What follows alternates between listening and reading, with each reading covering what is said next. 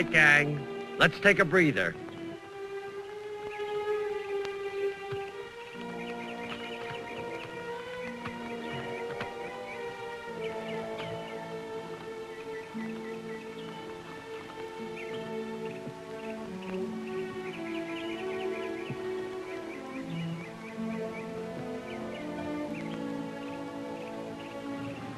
I hope it's still hot.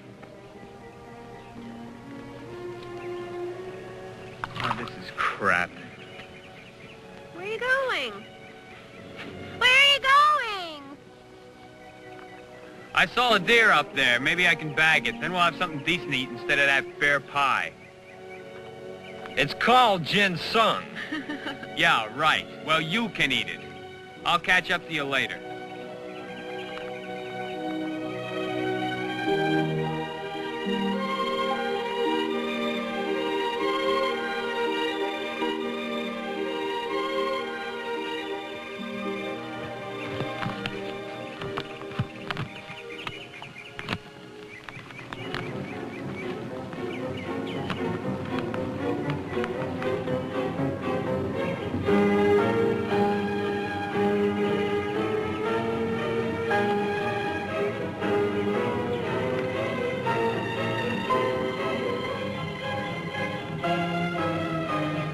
I'm going to take a look over that ridge.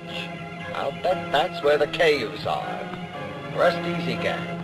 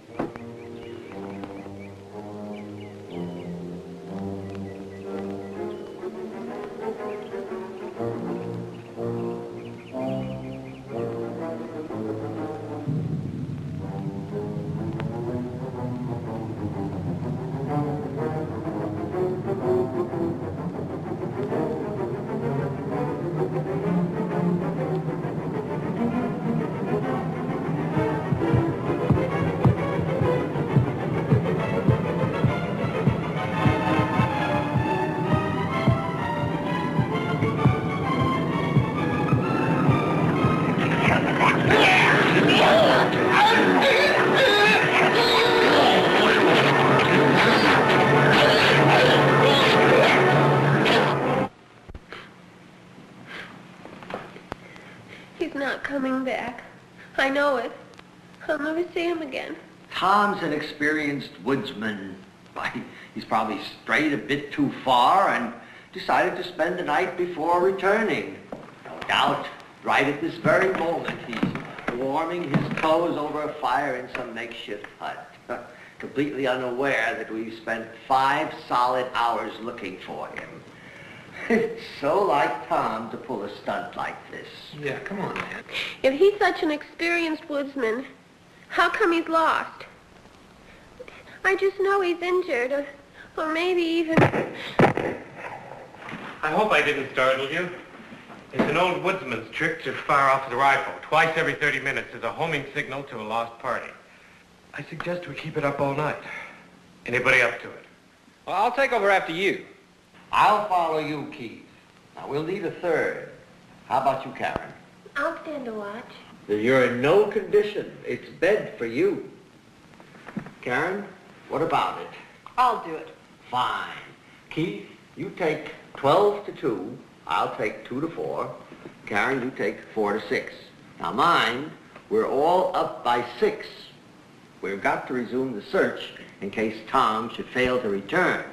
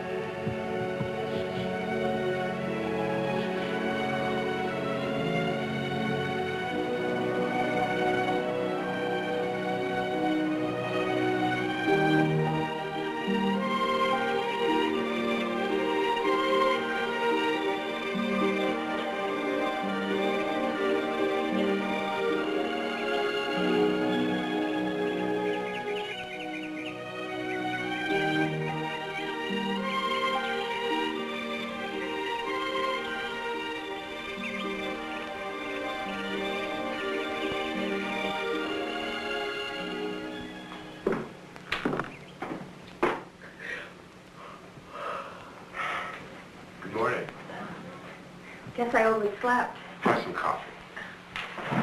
Just couldn't sleep. Every time I drift off, I'd hear those gunshots. Any word of Tom? Still early. Are you and uh, Tom good friends? Oh, I'd like to think so. You know, he has his eye out for a lot of girls. I can't imagine that with a girl as lovely as you're. Uh... People say I have a good sense of humor. Uh-huh. Is that all they say? Oh, please, Doctor, and I can't see anything without my glasses. Are you and Dr. Prowl old friends? Friends, but not old. We met a few years ago at a faculty convention. We share a number of scholarly interests, although his enthusiasm about the Yeti far outdistances my own. I say if there are such creatures, leave them alone. They obviously don't enjoy human contact, so why harass them? Dr. Prell, of course, is intent on capturing one of the beasts and finally proving that such creatures do exist. My own vice is uh, North American flora, herbs in particular. Lately, those traditionally found in the Indian medicine man's bag. Strangely enough, the Yeti crosses both of our paths. It's deeply rooted in Indian folklore. Do you remember me mentioning Laughing Crow's accident? Yes, Karen and I were dying to ask you what happened. Yes, well, it happened seven or eight years. Laughing Crow, sit down. It's all right. Sit down. It happened seven or eight years ago when we were still living on the reservation. He claims he was attacked by a half-human, half-animal beast that carried him off to its cave, intending to use him as food at the proper moment. Expecting to be devoured at any time, he escaped on the third night and wandered through the woods for two weeks until he found his way back to the reservation. Unfortunately, his tribe does not believe in the Yeti. And after severely beating him and cutting his tongue muscle, they cast him out. So you see, he hasn't spoken a word since. Oh, my God.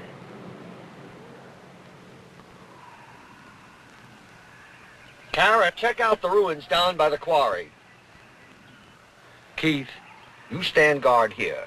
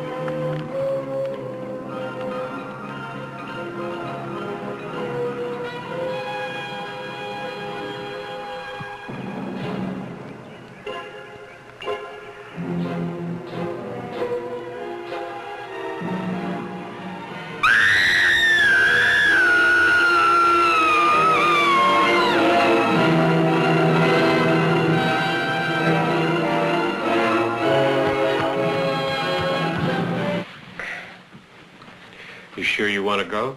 It's awfully cold out there. I've got to get some air. I mean, I just don't feel right standing around doing nothing.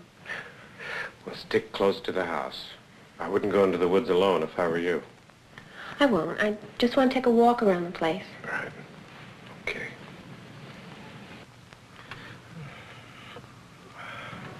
There, that's better.